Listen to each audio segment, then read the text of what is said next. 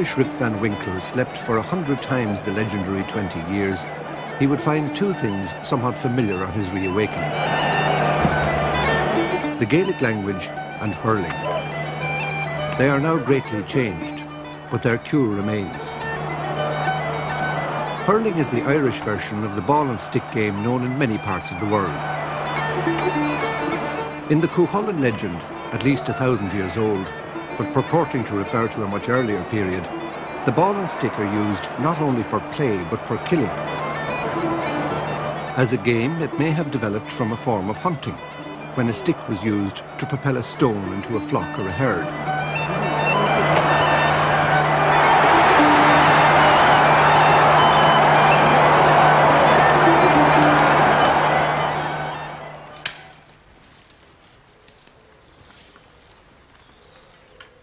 Distinct forms of the game were known in Ireland, hurling and Camánacht. The Camán used in Camánacht was probably made by pulling up an ash sapling and paring its root to flatness. The hurl has long been made by felling an ash tree and shaping parts of it so that the roots act as blades. The ash is favoured because it's so resilient. For the same reason, it makes the best swingle tree. It has a marvellous springy quality. Country people say, you think it was alive. Edward and Michael Brennan have shrewd eyes for the best makings of a hurl. The old way of felling the tree was to dig around its roots and using a mattock and axe cut through the taproot.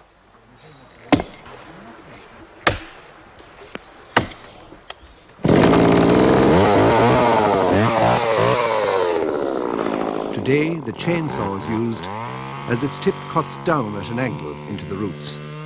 This is not possible with a handsaw.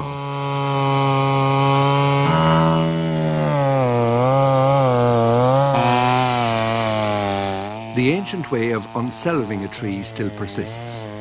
However, even into this intimate task, the machine is making its way.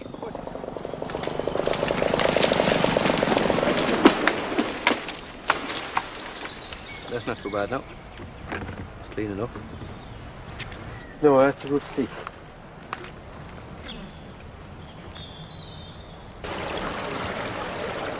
Inch sawmills on the River Nore near Kilkenny town.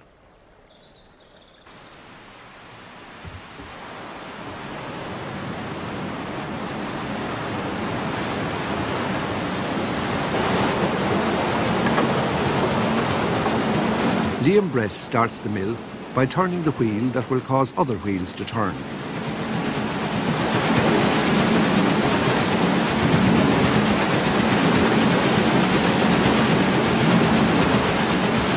The invention of the wheel was a mighty step forward. And in the watermill, the natural and man-made are beautifully fused.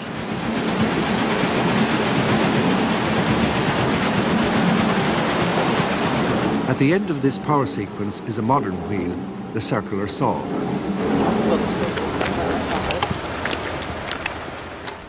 Liam Brett is the third generation to own and run Inch sawmills. His son is the fourth.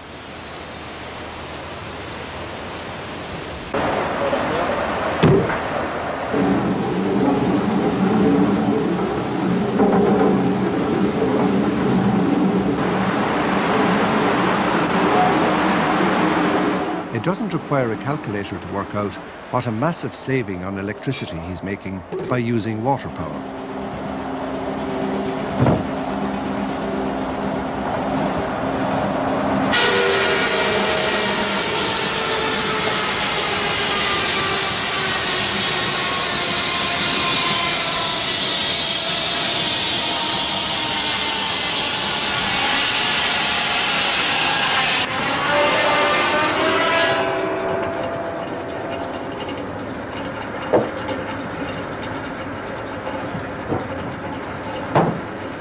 Once upon a time, a traveller in Wales was amazed because he saw hardly any ash or willow trees, and this was before the days when the woods were felled for pit props.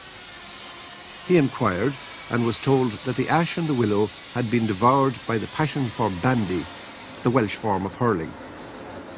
Ash is scarce in Ireland because it burns so readily and so cleanly, and because the Forestry Department do not include it in their scheme of things. This scarcity is among the reasons for the high cost of hurleys. So is the amount of patient labour the craft demands.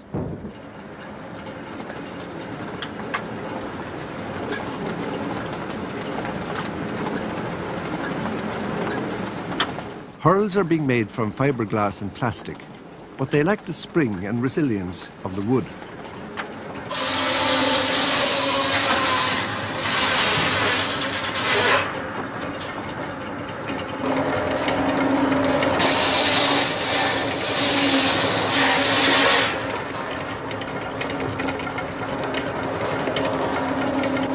Hurl makers are few, and most, like the Brennans in Kilkenny, live in areas where the game is strong.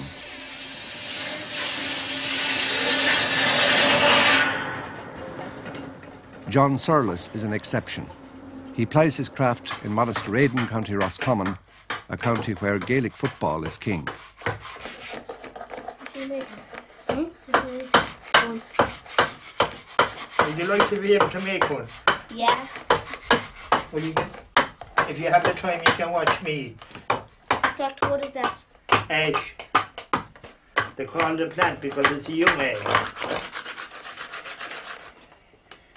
Do you see how it's made now? Yeah, yeah.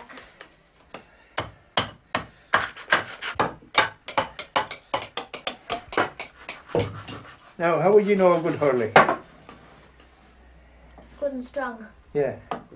And the grain running all the way down, Yeah. round about that way. And when you get it coming all the way straight and around about in a sh- horseshoe shape, Yeah. that's a good hurley because when you hit the ball, if it was straight, that piece it'd break off, Yeah. and all you had left was the straight bit then. Mm. You'd be shouting for a hurley.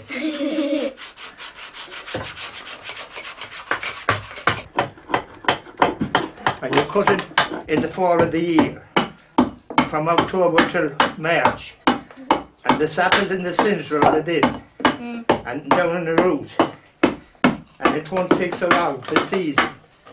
If you cut it in summertime, it'll be all sap and soft. And you never heard of Christy Ring? No. Well, he was supposed to be the best hurler in Ireland. And he, he died a few years ago.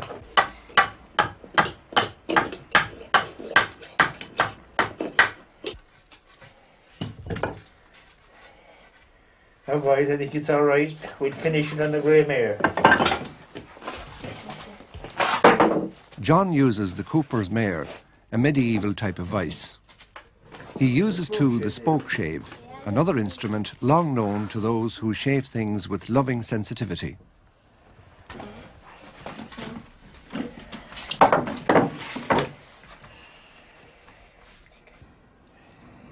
No, all I'll have to do is take the track of the saw.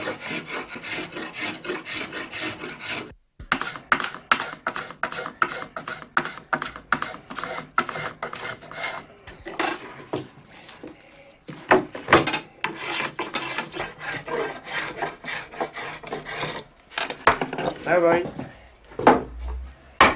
Now you see the grain? All the way down. Look. And round about. Now the track of the saw off and now. That's the sawdust. We're down to the right side. What's that sandpaper there for granted? The sandpaper, Yeah. well, it gives a grip. When I leaned up, press down on that, Mm. the sandpaper gives it a rough grip. Yeah. And if that didn't, if I didn't have sandpaper on it, I'd have to do this with the saw. To roughen that so it wouldn't be slippery. And the same here.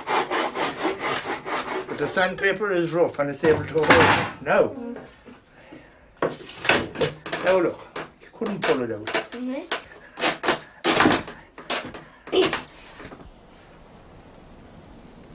The Butler Castle overlooks the River Nore. Kilkenny town is the home of Ramey Dowling, maker of the well-known Star Hurley. He gets his ash trees planked by Liam Brett. His son Tom marks out a batch of hurls.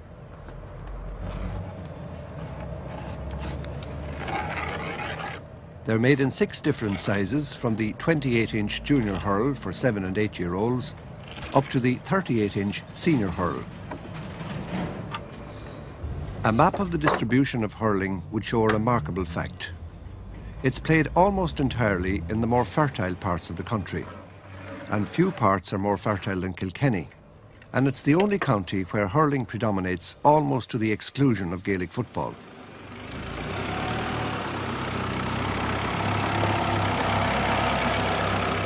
Ramey Dowling is among its folk heroes.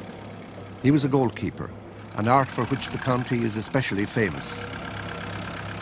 He belongs to a great line that includes Jimmy O'Connell, Ollie Walsh and Noel Skehan. A hurling goalkeeper's margin of error is like that of a batsman in cricket. Tantalising, the tiniest error can undo him. It's among the reasons for Ramey Dowling's expertise in the making of hurls. A keeper uses two kinds of hurls, one for general play and another for taking a free stroke. The difference between the former and the latter is almost as great as that between the modern hurl and the ancient Camán.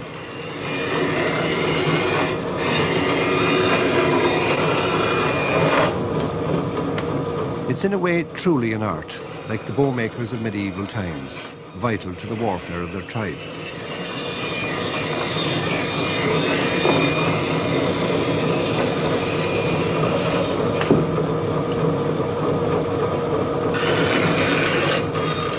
Shaping the hurl on the bandsaw is called sliding.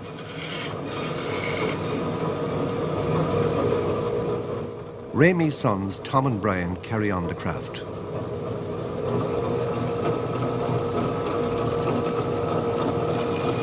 Ramey's wife, Breda, is the daughter of the late Tom Neary, the hurl maker, who started making hurls in 1921.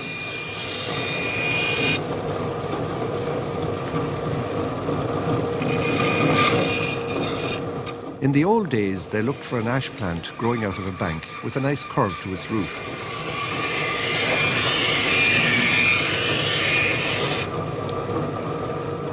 Ramey also made hurls from white elm,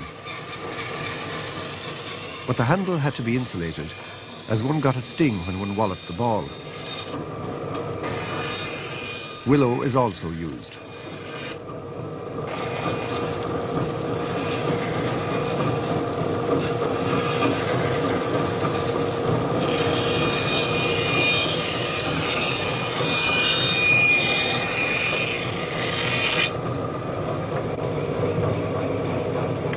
When Remy has completed the sliding, his son Brian takes over.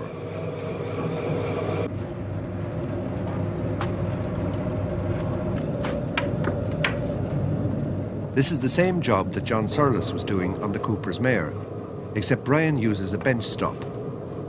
The tools are similar.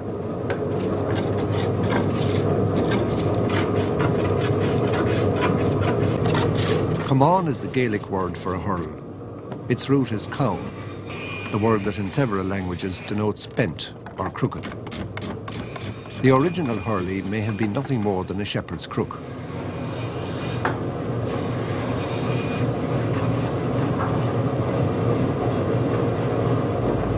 Today's hurl is the product of generations of experience and experimentation. And the experimentation goes on. Even the concept of a single piece of ash is no longer sacred. Some players, indeed, prefer a hurl with a segmented blade.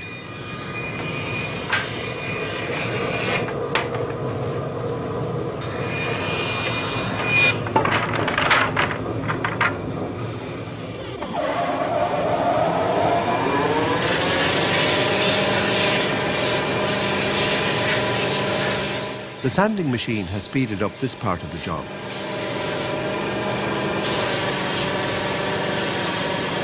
In the old days, a piece of broken glass was used to smooth the hurl.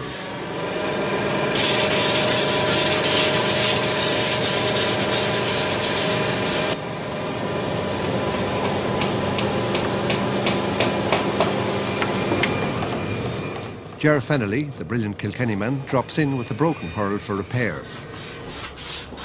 Hi, Brian. I'm sure, how are you keeping? Not bad. You have a problem? I've been with a problem after last Sunday's match. You want a piece in it, I see. Yeah, one piece. Okay. You'll want it for the weekend anyway. Uh, we have a match on Sunday, you know, if you could have it for Sunday. Oh yes, I, I'll have it Friday evening. Okay. You'll be passing by, will you? Should I call about 3 or 4 o'clock, thank Oh, that's great, that's great. I'll have it then. Okay, then. Okay, Ger. All the best. Brian will have to cut and glue a piece of ash to the damaged hurl.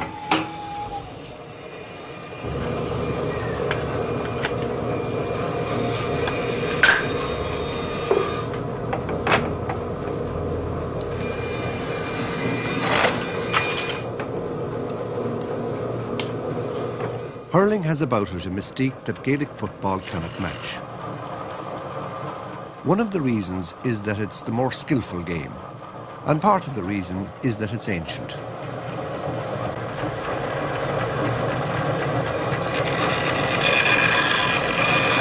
Modern football is only as old as inflatable rubber, and in some parts of the country you will hear the older generation say, football is not much of a game, the good people never played it. The good people are the fairies, and the reference is to the frequency with which hurling occurs in the tales about them. But the hurling in the fairy tales was Camánacht, the ancient game of the narrow stick.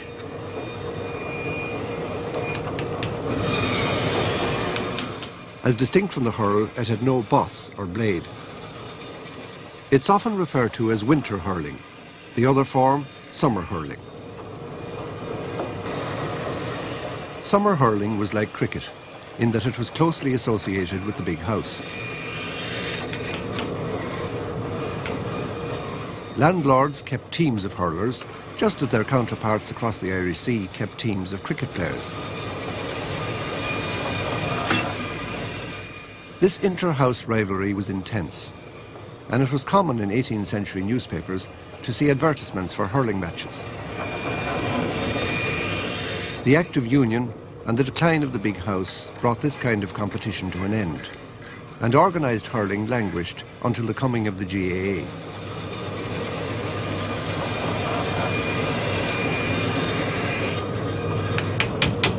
Brian has to make his own two-headed nails. Not so long ago, Cooper's nails would have been available for the job.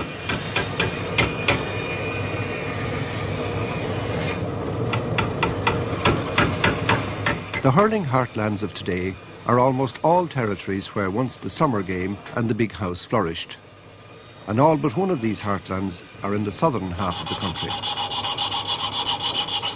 The exception is North Antrim, a reminder that the narrow sea between there and Scotland is less a boundary than a roadway. The foundation of the Gaelic Athletic Association had a curious sequel. The older form of the game soon disappeared. It is sometimes said that the GAA gave official recognition to the newer form, but perhaps it had no choice.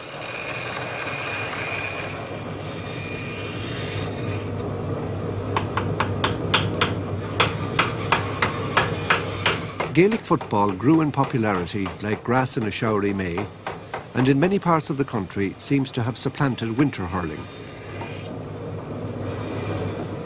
Winter hurling survives now in the Scots Highlands in the form of shinty. It's a very different game from modern hurling, and attempts to create a compromise form have failed.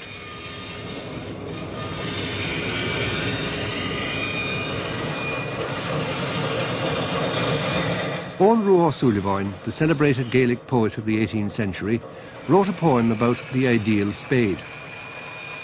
And a man will cherish his spade or his hayfork or his sleán as he would a hurl or a musical instrument, because, as we would say, it suits him. It makes his work easier. And in the same way, some men are loath to discard a damaged hurl.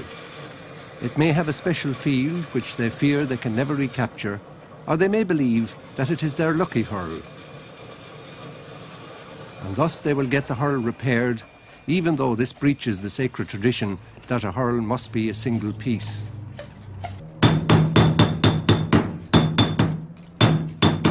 A band of metal also helps to strengthen the hurl.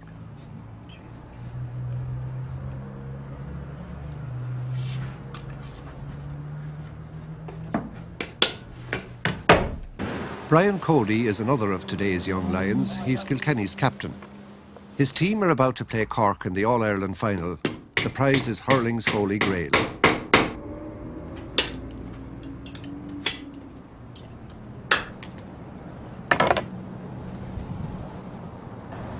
look Remy. Yeah, that's nice. Grain looks very good in that one. Yeah, good bit of timber, very good bit of timber. Ah, yeah, this is one I really fancy, all right. Yes, the bands and Yeah. that do 'em up.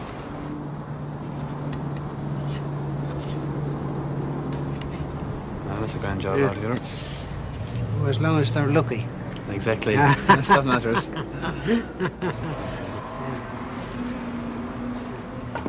How about that one then? Here's another one, Brian. Another one. Try I'll never make me picking mind up. out, huh? But that's a grand hurler, Remy. Eh, it is. Yes, yeah, This is- it feels very like the other one, this one Yeah. here. yeah. A very similar type of hurls. Great grain in it again, and Very grand. I like the handle, I like the grip. Yes, I suppose I better make up your mind anyway, eh, Remy. yes, I'll- yes. Right now, well, that's up to you. Suppose I took these two, how would that Yeah, be? that'll do grand, Brian. Oh, That'll that's do great, grand. Remy. They're As long good- as they're lucky, that's the main thing. Hopefully they're two Yeah. grand sticks.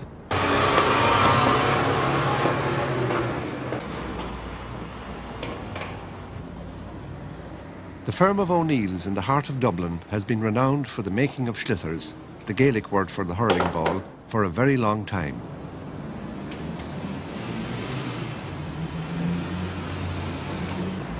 Liam Dargan uses all the techniques of a saddler and harness maker. The thread he prepares for sewing has a needle on each end and must be rolled and waxed to make it waterproof.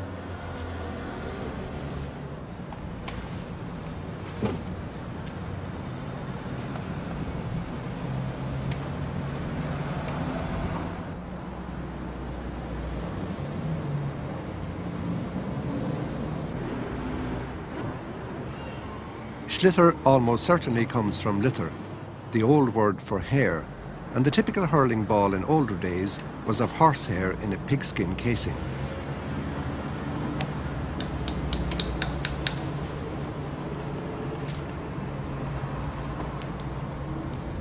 Not long ago, sliotars were the colour of natural leather, brown. White leather, a new introduction, makes the sliotar easier to see, particularly when practicing at dusk.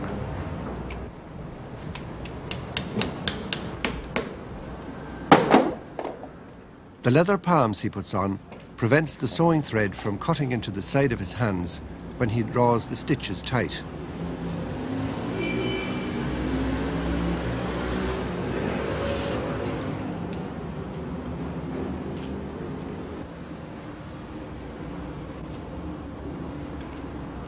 The modern ball is the subject of continuous experiment.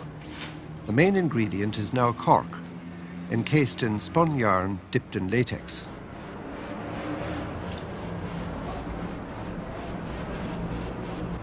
The modern ball is more streamlined too, and its greater carry is changing the tactical shape of the game.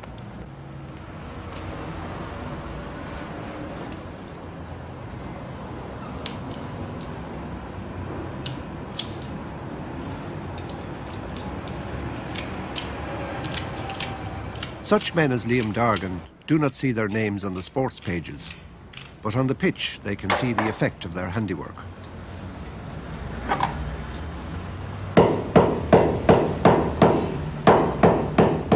Hammering the ball rounds the joints and sets the stitches.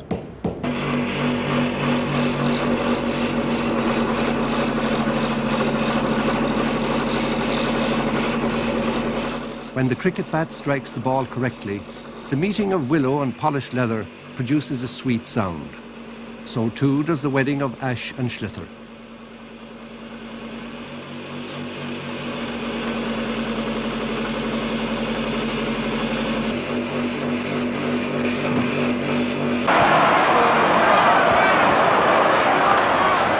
Today is the testing time for Brian Cody and his Warriors and for the hurl that Remy Dowling and his sons wrought for them.